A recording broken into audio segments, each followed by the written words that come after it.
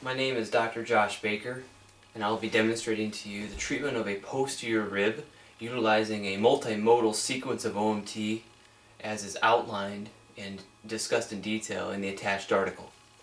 Uh, first we'll start with identifying a rib lesion. I've already identified a lesion here at a fourth rib. I'm going to monitor that rib with my hand throughout the entire procedure and we will initiate, initiate this multimodal sequence utilizing a counter strain model.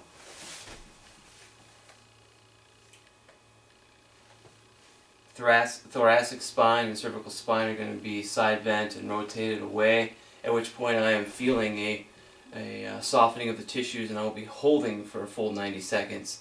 I, at this point I will not, for brevity's sake, I will not be holding for the full 90 seconds.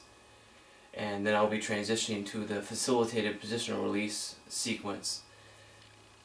I will be providing a force from my right hand to my left thumb directly on hold it, finding the release, holding for three to five seconds, end of the facilitated positional release treatment, and we'll be transitioning directly into the still technique sequence. Exaggerating the dysfunction, followed by compression,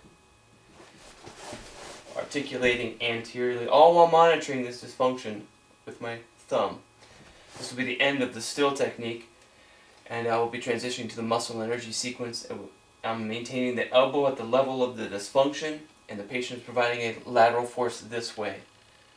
Provide force, relax, again,